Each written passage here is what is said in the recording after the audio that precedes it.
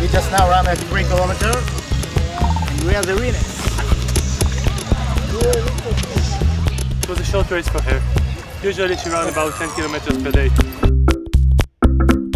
This is an Israeli dog from the K9 police unit.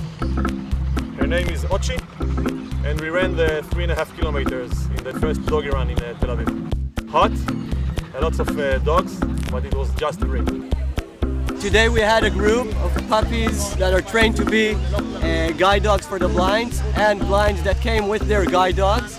And we ran as a group in this uh, race.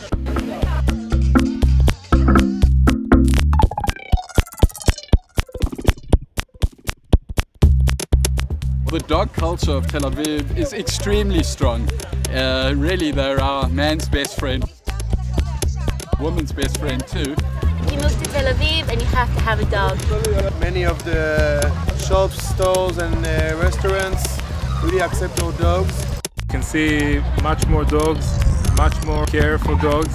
And many, many people now see the dogs like uh, their own uh, family member or their own son.